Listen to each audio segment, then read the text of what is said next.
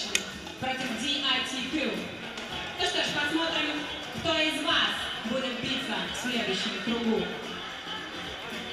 Батл начнется прямо сейчас. Заряжай, Джилеш.